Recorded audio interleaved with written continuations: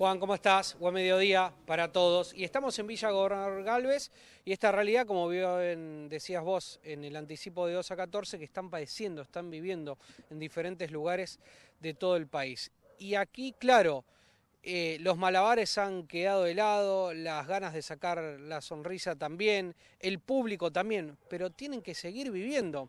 Este es un predio que tenía el Circo Cristal para quedarse un mes aquí en Villa Gobernador Galvez. Sin embargo, ya van cuatro meses. ¿Y cómo se vive? ¿Cómo se hace para subsistir? Bueno, muchas alternativas. Vender churros, vender tortas fritas, ponerse en los semáforos. Obviamente aquí estamos en el medio de un barrio. También apelar a que los vecinos vengan a comprar. Parece increíble una historia eh, que no se hubiera ocurrido seguramente aquí en el circo. Pero así están, Carlos. Es la realidad que tienen que afrontar. ¿Qué tal? Buenos días a todos ustedes. Sí, la verdad, como, como decías, son cuatro meses sin poder trabajar, sin poder mostrar nuestro arte. La verdad que se complica, muchas sensaciones. Pero bueno, como bien decías, eh, subsistiendo en este momento con, la venta de, cosas dulces, de comida, eh, churros, rosquita, pan casero, eh, prepix, empanada, torta asada, así que bueno, de esa manera subsistimos día a día, ¿no? Así que se complica un poco. ¿De qué manera hacen la venta, Carlos?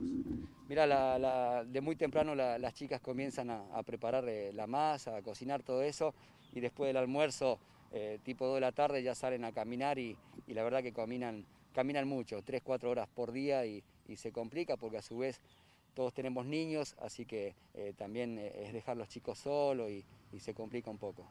¿Es un circo este y ustedes son de diferentes lugares de la Argentina, de Latinoamérica. Sí, hay gente de todo el país, los dueños son chilenos, también está Cristal que es de Mar del Plata, al igual que mi señora de Mar del Plata, eh, Pipi, el payaso de Tucumán, eh, de Buenos Aires, hay de diferentes partes del país, ¿no es cierto? ¿Cómo se imaginan de aquí a futuro? Digo, seguir vendiendo, seguir esperando que se levante esta cuarentena. Mira, nuestra vida es el circo, amamos el circo, nacimos en el circo, eh, como bien dije en la función del domingo que realizamos en la, la sala Labarren, hay familias de cuarta, quinta, sexta generación. Nacimos en el circo, nuestra vida es el circo. Esperamos ansiosamente que pase esta pandemia para, poder volver a nuestro rubro, ¿no? que, es lo que amamos hacer, el circo. ¿no? A ver, está la posibilidad también, me decías antes de, salir al aire, de que alguna de las empresas, de las muchas que están aquí en Villa Gobernador Galvez, le dé la posibilidad a ustedes de trabajar. Sí, mira, yo siempre digo en diferentes notas que, si la persona que tiene un alimento para donar, un trabajo para ofrecer, vamos a estar muy, muy agradecidos. De hecho, en, las redes sociales al principio de la pandemia eh, pedimos ayuda a los vecinos, recibimos muchísima ayuda, pero bueno, eh, es gente humilde, con necesidades eh, igual que nosotros, se extendió la pandemia, pero en realidad pedimos ayuda a las grandes empresas. Sabíamos que Paladini tenía intención de ayudarnos, estamos muy agradecidos por ello también a, los grandes frigoríficos ¿no? Eh, que, nos traen cosas. Eh, la verdad que vamos a estar muy, muy agradecidos si recibimos ayuda de ellos. ¿no? A ver, ¿cuál, es la rutina? Por ejemplo, levantarse temprano, antes ensayaban, ¿ahora qué? Y sí, ahora cambió completamente todo. Directamente ahora es levantarse temprano y ya empezar a organizar bueno, la casa y las cosas que, hay que ponerse para, para vender. Y bueno, las chicas como están acá, ellas también salen todos los días y bueno, cambió la verdad que la rutina completamente, es, cambiar de vida, no es lo de uno, ¿no? Pero bueno, uno trata de pelearla y lucharla, siempre nosotros decimos que la gente de circo siempre eh, se, la rebusca y la verdad que, es lindo eso también, que, podamos, y dentro de todo también en la ciudad que estamos, que la verdad dentro de todo eh, los vecinos se portan dentro de todo bien y la verdad que nos recibieron bien también. ¿Cómo es esta, esta nueva vida de saber de que no viene la función a la tarde, que durante el fin de semana tampoco van a estar los chicos, no van a estar esas sonrisas?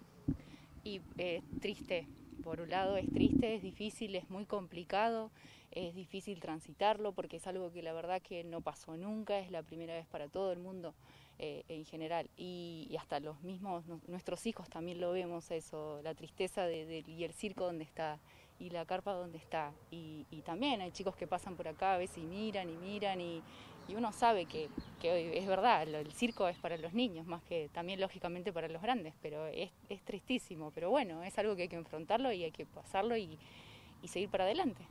Eh, ¿Los niños del barrio se acercan aquí al lugar, aunque sea a ver, a observar si detrás por ejemplo, de estos eh, autos, containers, están ustedes?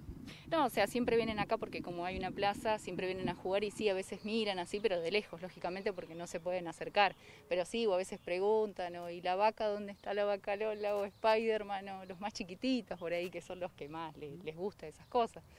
Así que, pero sí, sí, te da, te da cosa verlos y que pregunten y no poder hacer nada.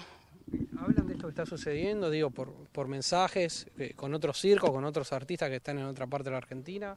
Sí, sí, constantemente con todo el mundo, estamos todos en la misma situación, una situación complicada, otros están eh, bien, otros no tanto, eh, pero sí, todos de la misma forma. Y bueno, lo único el día de mañana, que ojalá Dios quiera lo más pronto con protocolo y como sea, poder empezar a trabajar eh, que bueno, las autoridades que, tengan que ver con esto, que, nos ayuden de alguna forma también a poder empezar a trabajar. Sabemos que no va a ser, lógicamente, con toda la localidad que todos tenemos, de cada uno con su circo, pero, pero poder empezar a trabajar, porque todo el país está igual y todos los circos del mundo están igual que, todos, que todos, todos, todos de la misma condición. Muchas gracias. ¿eh? A ustedes eh, están aquí, es un gran grupo, Juan. que trabaja pero que no puede trabajar con que se ha transformado, ¿no? La realidad que se ha transformado para, para todos, pero bien decía Cristal esto que me quedó, no está la sonrisa de los chicos.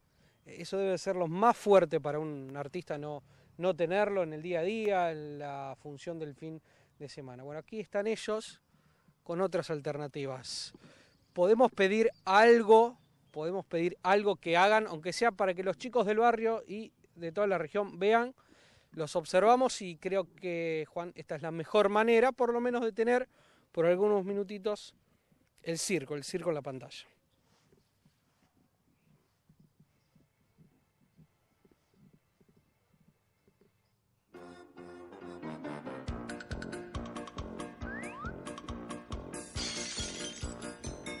Ahí está Pedro en el Circo Cristal en Villa Gobernador Galvez, que como te contaba la están pasando muy mal, como, como muchos laburos, como muchos trabajos, como muchas familias de circo.